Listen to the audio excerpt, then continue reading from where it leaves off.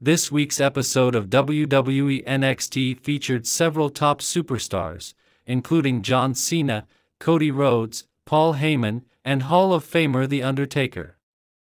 Taking to Instagram, Cena reacted to the American Nightmare's appearance on the show. After kicking off the episode, Rhodes announced that he was the general manager of NXT for the night.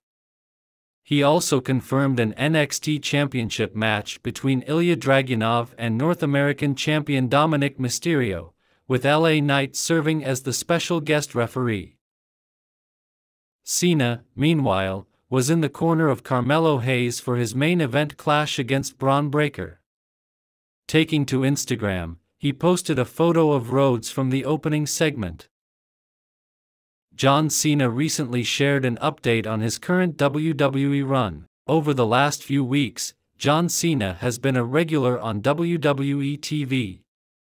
However, he could possibly be on his way back to Hollywood once the SAG-AFTRA strike comes to an end. Speaking at the Fastlane post-show press conference, Cena mentioned that he would have to return to Hollywood, as committing to both industries wasn't possible.